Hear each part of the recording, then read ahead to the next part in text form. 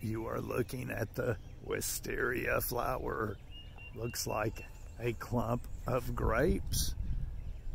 But this, this flower is very edible. This flower is actually in the pea and bean family.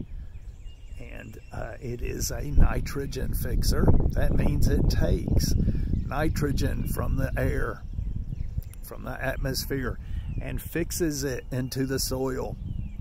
And so it is a nitrogen fixer. That means other plants grow very well around it. And you can actually like just take uh, maybe the branches or whatever and throw them on the ground and use them as mulch because they have nitrogen in them anyway. So the, the flower is very edible, very edible. Hmm. Very good. Mmm, man, that's good. And um, it is the only, though, it is the only thing that is edible. It is the only thing that is edible here on this uh, vine. It is, uh, the leaves are not edible, the, the uh, roots are not edible, the bark is not edible. No, that is all toxic. The only edible part is the flower. Man, it's good. Sweet.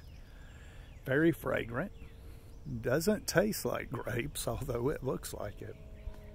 Uh, anyway, remember anything else on the plant is toxic. So don't eat anything else but the flower. Anyway, I'm not an expert. Make sure you do your own research and consult with a local expert before you go eating anything.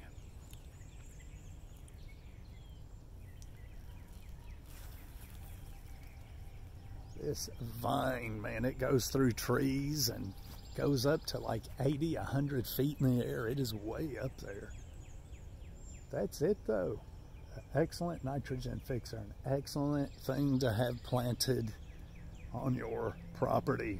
Very edible. We'll see ya.